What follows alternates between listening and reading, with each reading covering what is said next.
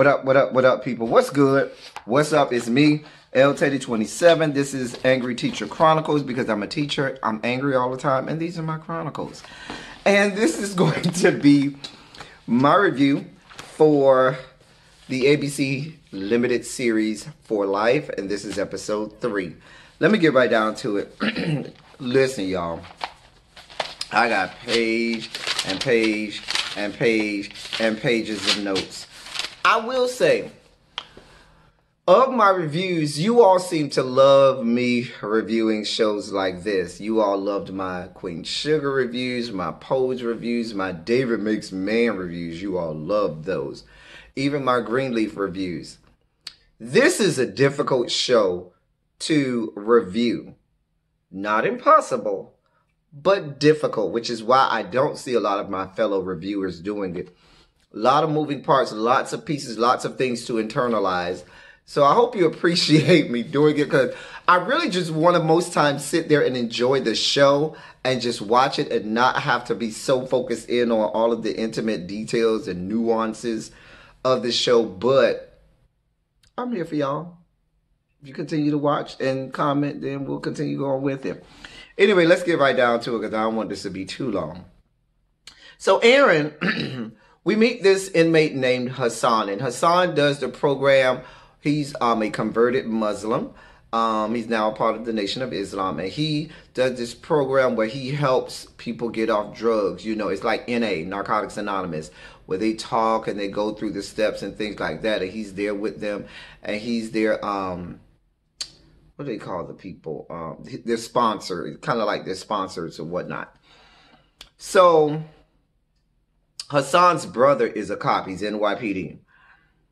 We find out that Aaron wants to use Hassan's brother in order to have his brother go because his brother being a cop has access to um you know case files and stuff like that that the police have and we remember last week they you know the judge um voted against um, Aaron last week, and they kept the files sealed. So Aaron, Aaron's idea is if I can get close enough to Hassan's brother, then I can maybe try to convince his brother to go and get copies of the file and get them to me. Damn Hassan. In the beginning. So Aaron's friend Jamal you know, Aaron and Hassan, um, they um, talk about it and everything. They talk about the brother. And Hassan was like, well, listen, my brother, he, he don't really see it for me. I tried to write a letter to him years ago. He ain't even responded back. I ain't heard from him. He don't care about me. So Aaron was like, well, I'll try. And I'll tell him that you didn't tell me to contact you. I just do what I can. Um, meanwhile, Aaron's friend um, talks to him. And Aaron's friend, Jamal, says, well, have you told Aaron everything that you plan on doing? All about trying to get his brother to help you? He was like, nah, because then he might pull out. And so Jamal is like, you know, that's kind of, that's bad business. And I agree with Jamal. It's bad business, Aaron. And when you try to do um, bad things like this, bad things happen to you. And we'll see that those bad things start to happen. Anyway, so he Aaron's friend Jamal says, Well, tell him Aaron's like, no. Not gonna tell him. At least not now. So Aaron calls the brother. The brother comes to see Aaron and um in jail. Now, the brother, I don't even know that young man's name, but he is a tall piece of dark chocolate. Let me help you understand something. Let me help you understand something now. Mm, mm, mm, mm. Oh, child. Oh, Lord. We're going to call him Sexy Chocolate. Okay, that'll be his name, Sexy Chocolate. So Sexy Chocolate comes to visit Aaron, okay? And after some back and forth, this, that, and the third, he agrees to testify. The DA, um, Maskins, at this point, him and his cronies, the DA is tired of Aaron. Aaron, in his estimation, is beneath him. And the fact that Aaron um, has embarrassed them a time or two so far in court and he feels that Aaron is beneath him, first of all, Aaron is black. Add to that that Aaron is in jail and he helped put Aaron in jail. So he thinks, in his estimation, that Aaron is way, way, way beneath him. Okay, so they are, you know, think of it like when you see a cockroach crawling around your floor, and that cockroach you know is beneath you. What do you do? You stomp on it and kill it and do away with it because it's beneath you. It's not on your level, and that's what Maskins um, wants to do with Aaron. So he wants to wipe him out in one one swipe. While Aaron um and Aaron and Aaron Aaron and God by handwriting, Aaron and Hassan, all these A's. Um they practice for their testimony on the set. And Hassan tells him, you know what, you're really good at this. You know, I have high hopes for this case. It looks like we may be able to, um, you know, we may be able to win this. Aaron goes to court. While Aaron is at court, who shows up to the prison? The ADA, the assistant DA, with, I think his name is O'Reilly, with all of his people from the district attorney's office. And they got subpoenas and all because they got subpoenas to check the surveillance footage because they said they believe that Aaron has committed forgery and falsifying evidence. Aaron is being accused of committing forgery and falsifying evidence and stuff like that in that case that we saw during episode one. So, and we know full well that Aaron did it. Now, they go through all of this stuff. They find exactly what they're looking for. All of the evidence that they need. Not conclusive, but certainly enough evidence to um, build a case. The warden is completely blindsided by this. Listen, the warden is caught off guard. She had no idea. You know, the warden, she is completely trusting of Aaron. Sometimes probably too trusting. But baby, she is caught all off guard and she's still out of sorts with what to do. Even with her being blindsided and so forth, she's still protecting Aaron. Because they were like, well, we can go ahead and start the um interview the guards to see whether or not they recognized it as that. She was like, no, you got to go get another subpoena for that. They were like, don't worry, we will. Anyway, she's still doing what she can to protect Aaron because I, I don't think she she knows she sees that clearly it happened, but she just doesn't want to believe that the the worst than Aaron. And so um, she's still protecting Aaron. So Aaron argues his case or whatever. While the judge is deliberating, Aaron goes to the brother and tells the brother, Hey, I know you work down there at the police station. I know you're an officer. I know you heard about my cases. Can you help me? Can you look?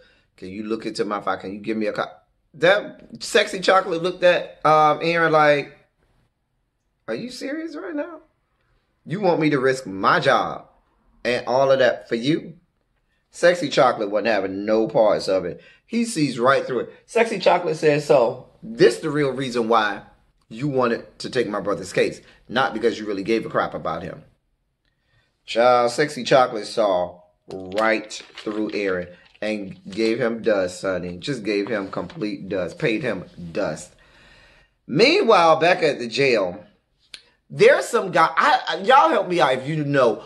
I don't know who this guy is that's following the warden around, but he is following her around. I don't know if he's the, her assistant or whatever, but some white dude who's been following her around and so forth. So he's basically trying to convince her that listen, when Aaron bring his uh, black behind back from this good uh, court, you need to throw the book at him. You need to go in and let have, let go, and let God on him. Okay.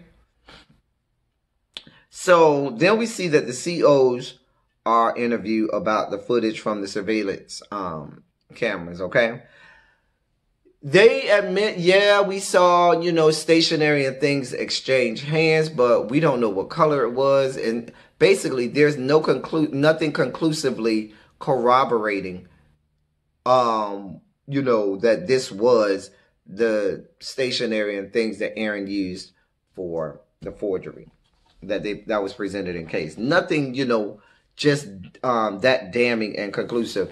It was the same thing. They, you know, corroborated what you saw in the surveillance footage. Back at court, the judge is back from deliberating. Black judge. Dark skinned black judge. I'll get to that in a second. Anyway, he berates Aaron. And Aaron deserved it a little bit here. He went in on Aaron for the old, the new, the past, the present, the beginning, the end, the first, the last, the Genesis to the Revelations, the Alpha to the Omega. Okay? He went in on Aaron. Basically said, You did a piss poor job of representing your client. You didn't present the, the best case for your client. You didn't present the best defense for your client. You did not fulfill your job as counsel for your client. You only came up here with one witness. A biased one witness at that. He went off. Now let me sidebar real quick and jump on my soapbox. So I noticed, I told y'all I was a black judge. This has nothing to do with colorism, but go with me here. It's a dark skinned black judge, too. Real dark. dark like sexy chocolate is. Anyway, you ever notice that all of those staunch black Republicans, you know the one the ones that do all of these things that go completely counter to everything that we need as a people, as black people. You know those people, the Alan Keyeses of the world, and the, what's the guy from South Carolina, Senator Scott. You know all of those people. Ben Carson, you notice they always be the blackest um, ones of us all. I mean, they just be black, black. I mean, real dog. And they always have this pious um, aura about them. And they're always looking down at other black people who they feel are beneath them. That's kind of the air that I got from this judge during this case. Y'all let me know what y'all think. But y'all let me know if y'all see the same thing. These let me moving on. On the way back to the jail, Hassan is upset. Apparently, uh, um, clearly, Hassan is like, "Listen, it all everything is un, unveiled, unraveled, un, unraveled, unsheathed. We find out. Hassan finds out. Yeah, I did um, take your case because I did want to talk to your brother. All of those things about the brother and everything. And Hassan is upset. And Hassan was like, more than anything, I had a chance and you did not represent me well. And now I could never have another chance to get out of jail um, early. So he says, listen, you ain't just a shitty lawyer. It looks like you're a shitty person as well. So Hassan basically says, you need to be worried about your credibility and your reputation at this point because I am going to tell people about how you represented me in this court.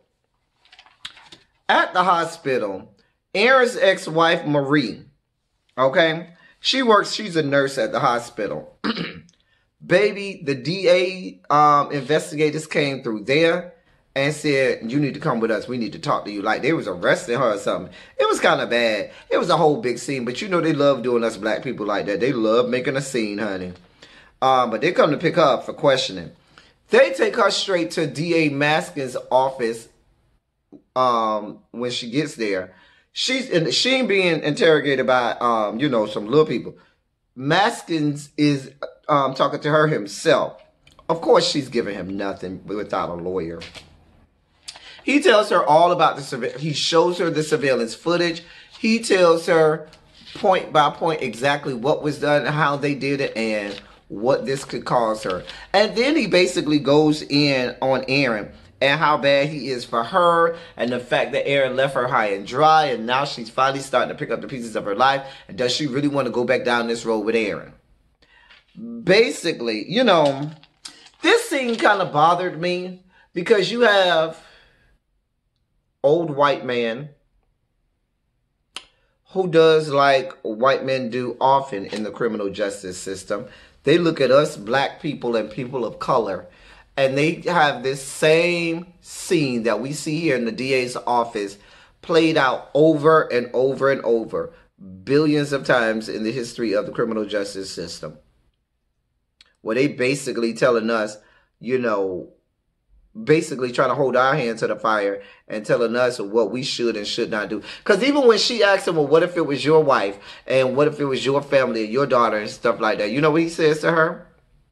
Well, I wouldn't have myself in that kind of position. Well, you, it's easy for you to say that being a white man here in America, but as black people or people of color here in America, it's not so easy to make statements like that. But whatever. I mean, I couldn't help but hear in my head, those people who watch my channel know we have our orange shirt video. I just, he was, cause he was really giving it to her. I just kept hearing in my head, he getting you, sister. He getting you, sister. He getting you, sister. Ciao. Go see one of my silly Saturdays. You might learn what our hashtag orange shirt is. Moving on, because this is going longer than I thought. So, the they tell her that you know her attorney is there. So the the new boyfriend Darius, the one who is the best friend of Aaron, had a lawyer come and they got her out of there. He goes in on her, basically saying you got to be the dumbest person in the world to allow yourself to b- fall back into this whole thing with Aaron. You need to leave him alone. You got a 17 year old daughter who's about to have a baby. Why are you allowing yourself to get, you know, caught back up with Aaron? You know he's not to get out of jail. You're all of it, you need to let it go. Maybe, baby, he was mad, mad. No, he was mad, mad. Okay he doesn't want her to get caught up with Aaron and his foolishness. I think that he don't want her to get caught up with Aaron because he knows if Aaron gets back out, she's gonna leave him and go back with Aaron. But that's a whole nother story. The assistant DA goes to Hassan's brother, Sexy Chocolate, Officer Sexy Chocolate, to get info out of him. And Sexy Chocolate pretty much declines to help him, okay? Um, and then we see Aaron calls him and calls Sexy Chocolate and tell Sexy Chocolate, listen, I need you because I want to try to reopen um Hassan's case. Go get this information and I can use it to help re um open the case. So um Aaron's still trying to help out Hassan because he needs to build back up his credit. It ain't because he really care about Hassan. It's because he care about his credibility because he needs these cases in order to help his own case. Aaron then goes in to see the warden to ask her about helping, asking her about do going to do something for the case, for Hassan's case. Her energy though was off with him. her energy was real off, and he noticed it. But she doesn't let him know that she knows all about the forgery, and he don't know that she know all about the forgery and, and the fact that the um, assistant DA came. Aaron then goes back to court to argue the reopening of Hassan's case, right? So Aaron was on his A game this time. This was the Aaron that we have grown to love. He was on it. He presented his case. He was on. He was. He was right. He was right there in the pocket. He was doing great. Baby, that judge looked at him, still shut it down, and it was this whole pious um attitude that the judge had with Aaron. You know, the, this whole thing, I am a part of the bourgeoisie and you are a mere peasant beneath me. You know, that whole thing, because he referenced, you know, where he went to law school and different things like that. It was just a mess. I told y'all. We talked about this a little bit ago. Anyway, uh, Hassan is still grateful because during this second trial or the reopening, Hassan and his brother were able to mend the fences and rebuild their relationship. And so the brother, um, you know, vows to go and visit Hassan in jail the next week. So that was good. Hassan was very glad about that. And he told Aaron, you ain't got nothing to worry about with your cred.